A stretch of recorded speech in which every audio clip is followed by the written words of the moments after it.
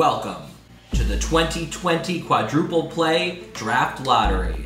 Now, obviously, 2020 is going to be a very different year from any other season in the 20 year history of Quadruple Play, and we'll talk about that later. At the end of this video, I'll talk about what's going to be different in this short 60 game season, but first, let's get to what everyone wants to see the reason why you're watching this video the draft lottery. Here's how it's to work.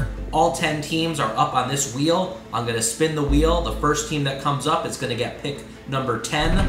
Then that team will come off the wheel. We'll spin for team number 9 in the draft, then 8, then 7, and so on until there's only two teams left. And then we'll spin for who gets the number 1 overall pick in this draft.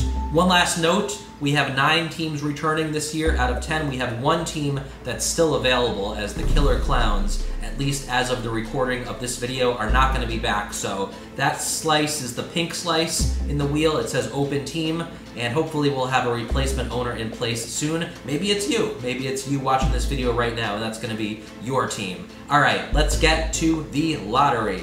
All right, and I'm going to spin the wheel for pick number 10. Here we go Is this recording? It is.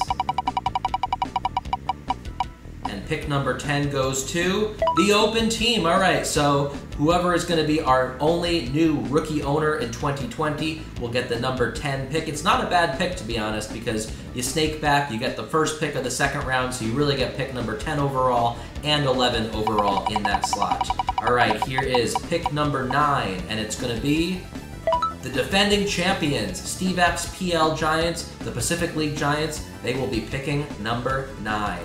Let's spin now for pick number eight, and it's going to be the Black Knights with the number eight pick. Black Knights, an original owner. They've been here for all 20 years. They got three trophies on the shelf, and they're hoping 2020 will bring in trophy number four. All right, pick number seven, and it goes to the Amaze Goldhorns, or the Amaze Goldhorns. Alice, representing Europe out of uh, Slovenia, out of Ljubljana, will be drafting number seven. Alice has been in the league since 2002, so this will be season number 19 for the Goldhorns franchise. All right, let's spin now for pick number six. And it goes to. That's me, COTC. So I'll be drafting number six this year. All right, right in the middle. Uh, you know, it's uh, sometimes it's not the worst thing. All right, let's uh, let's spin for pick number five, and it goes to IDK's on third. IDK last year finished in second place, so we'll see if 2020 uh, will be finally be the year when IDK finishes first. All right, only four teams left. Let's spin for pick number four overall number four goes to.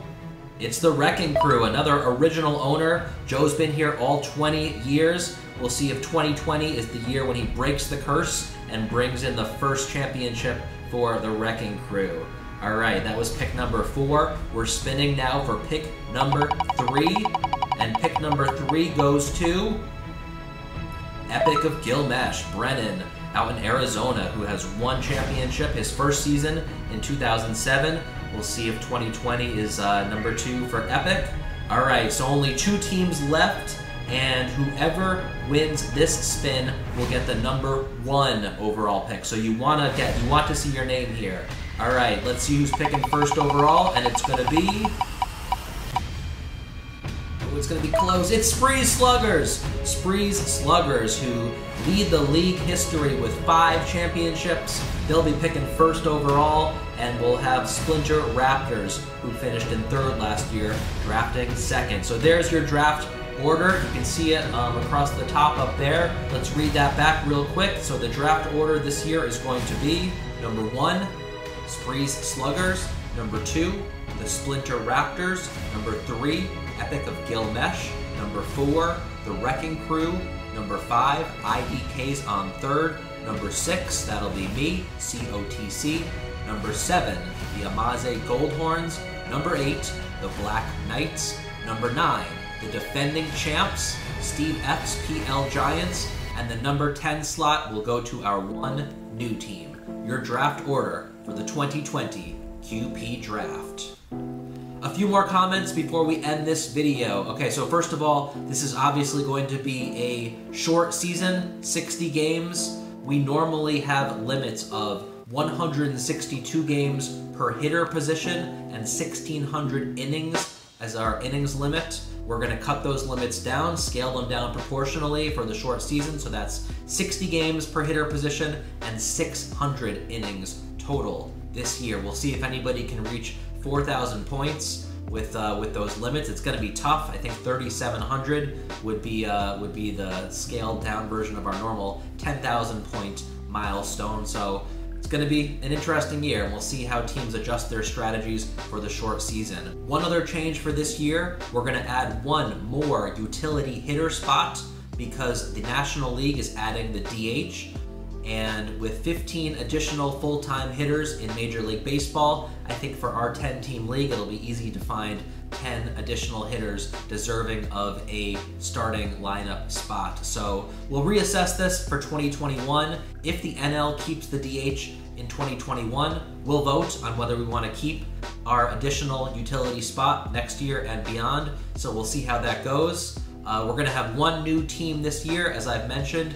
And one last change that I'll mention uh, my team has been called COTC, Corn on Ty Cobb, since 2008, and we've had good luck with this name. We've had two championships. However, upon reflection, I've decided that Ty Cobb is probably not the best legendary baseball figure to honor with a team name in 2020 and beyond. He's obviously famously racist and just not the nicest person. So I don't know yet what the new team name is going to be, but I'll be changing my team name from COTC to something new this year. And, you know, these are historic times that we're living in right now. There is obviously a lot of turmoil and uncertainty in the world right now. Hopefully, baseball returning in July will bring some joy and relief and normalcy to your life. I know it will for me. And so I am grateful to all of you who are a part of the Quadruple Play League. And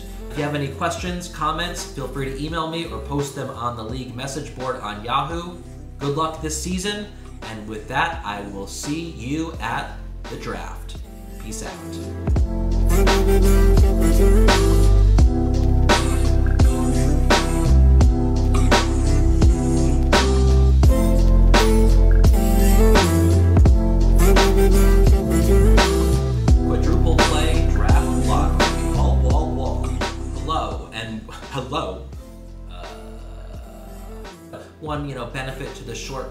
Season is we can try this out, see how we like it. I think it's especially. Uh, all right, not too shabby.